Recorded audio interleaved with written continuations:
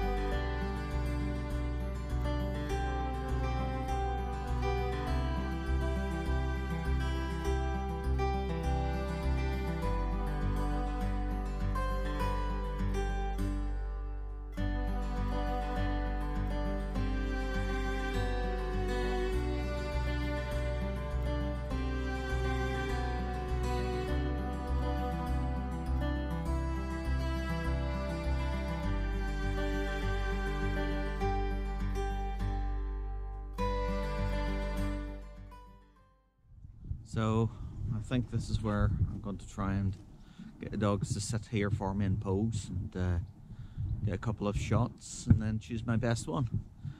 Again, I'm doing infrared only black and white. Um, so ideally I want a low shot to try and get some of that beautiful cloud in. It'll be very different in uh, black and white and infrared. That blue will go black. So it'll be quite an interesting effect.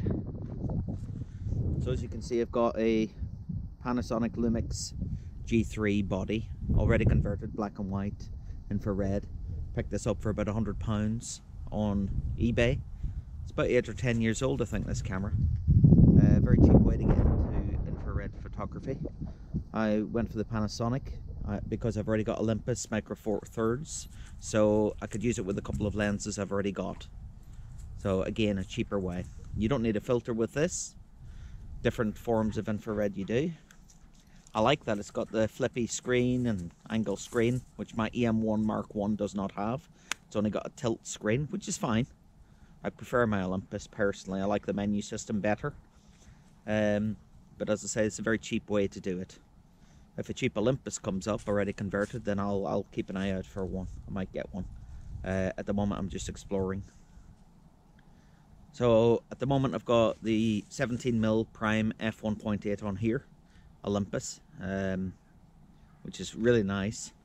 Um, so I'm going to just see how that goes on here. I'm going to just have a little look and see what I can see handheld first.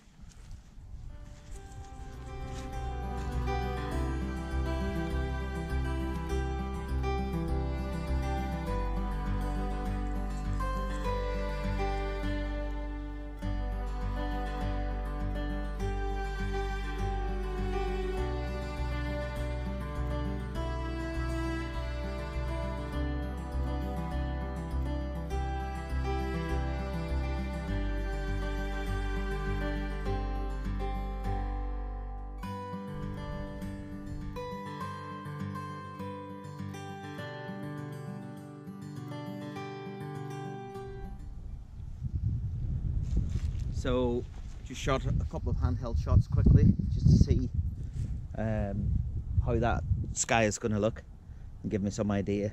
Um, and I, it looks great.